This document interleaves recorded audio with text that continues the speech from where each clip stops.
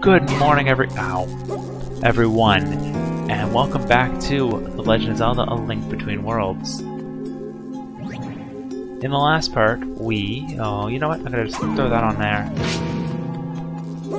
or not, I guess. Uh, we finished. Well, no, we didn't finish. We did about half of Skull Woods. We are on our way to get the boss key for Skull Woods right now and he's keeping on us really well for some way. Um, it's kind of getting annoying.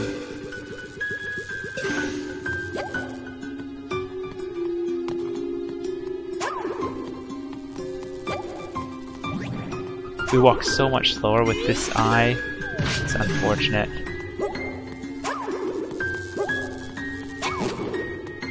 But it is a good weapon, I suppose.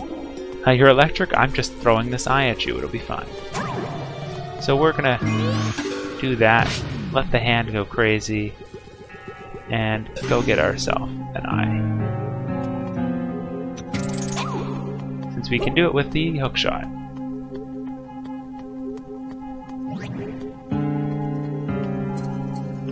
Throw,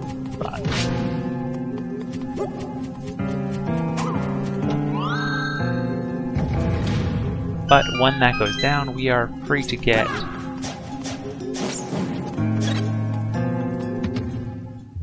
the big key. Which means if we head back one, we can get into the big key room. And we got the Master Ore, so all that's really left in this dungeon is the boss. Uh, we wound up using zero fairies so far,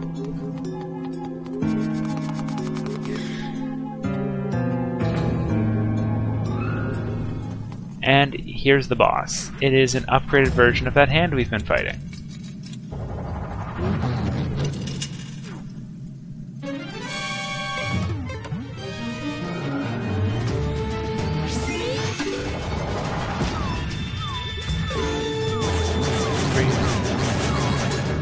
Now, you did just get another Master Ore, so you don't necessarily need to...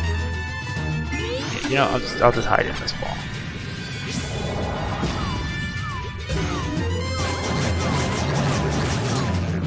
He cannot pick you up and carry you to the front, though. He can, however, go a little evil.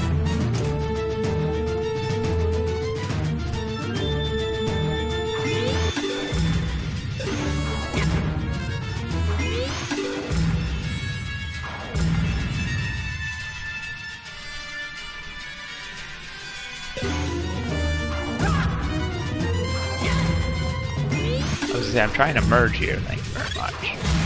There are some hearts on the wall of the arena. Should you need them. And because he partially hit me there, he doesn't. He doesn't need to um, waste the time to recharge to get a hit.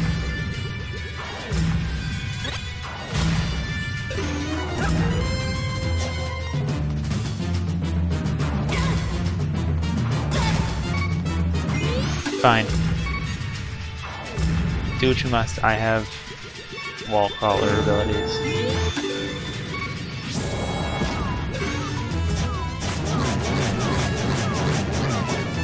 If you have the upgraded sword, this fight goes a little easier, um, but there's no other way to speed it up.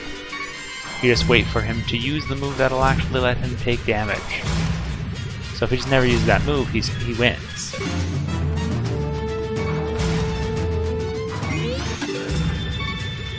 He's never vulnerable, he can never lose.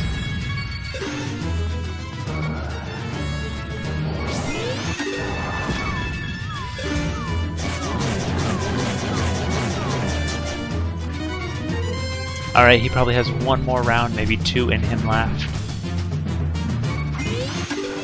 One, two, three, one two, three, four.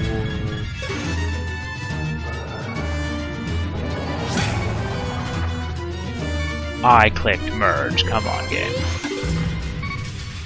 Two, three,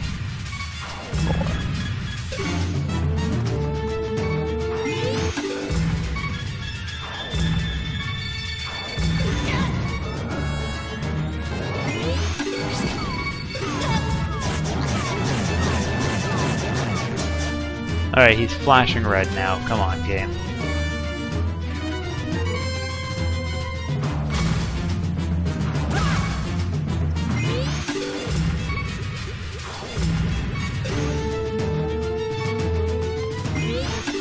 One, two, three.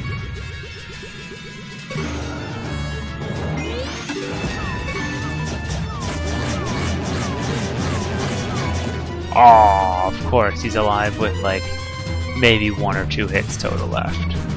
I always do this with the upgraded sword, so he, he's taken longer than I remember. I guess his thumb is hard enough to hurt me.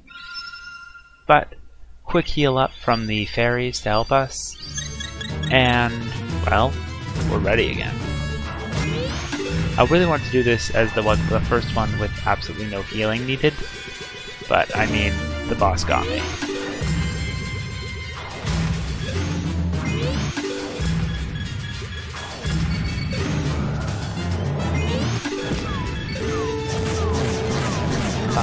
Alright, so it was like a full cycle left. That's not the worst thing. If it was like one hit and he blew up, then I'd have an issue, but it took us five hits after. So we have finished the Skull Woods. And of course he drops his heart right in the middle of the map, which is, I, I think, potentially lockoutable. Oh, no, yeah, you can get it from either of those sides. We got the maximum heart container increase bring us to 9, and giving us access to Seres. Since this is here, technically, uh, I think I've seen them like glitch through the wall with uh, the hand pushing them through, and it gives them access to Seres early, which means you don't actually have to beat this boss ever. Ah, I see, my little friend from the sanctuary. You've come to rescue me. Bless your goodness. How strong you must have gotten since then. But it seems you've further yet to go. You must save all seven of the seven sages. Save all of us, or peace will never return to Hyrule.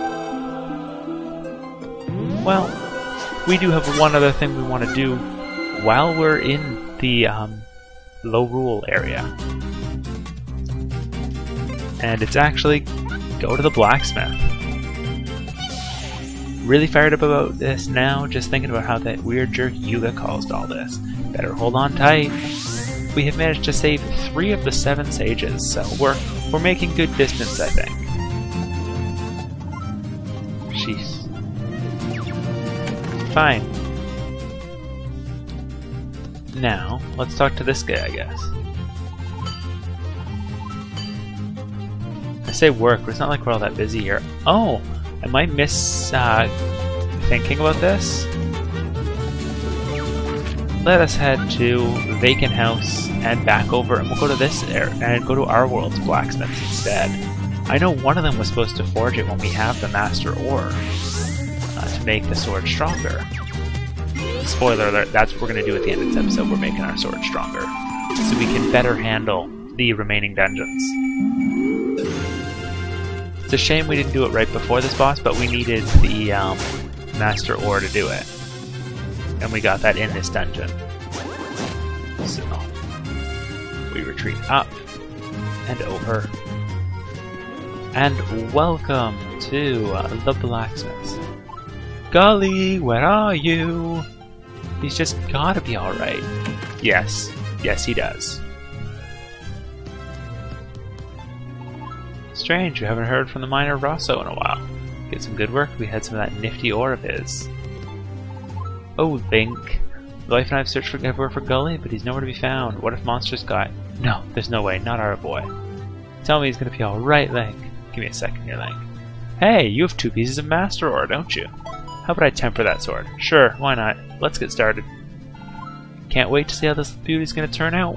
One moment, please.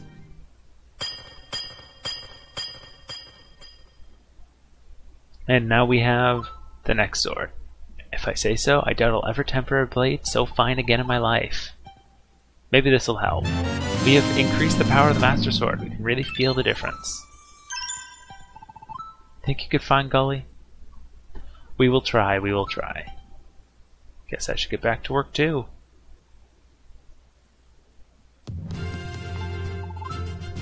Oh, he's still saying... He's still talking about Rosso. And in Rosso's ore mine, I assume they're trying to hint that there might be another Master Ore piece there. Because there is two more in the game. Uh, we've gotten the two that came from dungeons. Um, so we want two more uh, if we can find them in other places. Those I don't remember off the top of my head, so we will have to look later. But now that we have this tempered sword, is the blacksmith in this world going to be different? What's he going to say about it? Because, honestly, it's no longer a random sword we picked up off the ground. Well, picked up out of the ground, I guess, technically. Um, but we are doing more damage. Hey, you there, kid. That sword, let me see it for a second. Alright, we'll go talk to this guy now that he's seen us a sword. Me take a look at Real fine sword, excellent craftsmanship, just excellent. Whoever made this was very skilled. Not as skilled as I am, of course. I mean, I am the top blacksmith in the world, you know. But whoever did this just might be second best. Let's get my blood running. Follow me. Alright. He is excited. He is walking us back into his shop. And what's he gonna say? If you find two chunks of master ore, I'll temper that sword for you. Won't just temper it, I'll make the sword of yours sing with the envy of the whole world. Just two chunks of the master ore and you'll see what I mean. You wouldn't know anything about his mood change, would you? So yeah, it's this. You can upgrade it once in each world, um, but we still need more master ore. You can see we have zero of it now. So that is something we will have to look for in the future. But that is going to be what we're calling it for today, with access to the Tempered Master Sword. And we have fired up the blacksmith. We are going to, well, I guess I'm undecided if we're going to go hunt for Master Ore or finish up another dungeon. Uh, I'm, I'm leaning towards another dungeon. Maybe we've got a nice red sword. Maybe we look for a new tunic as we go. See you guys then.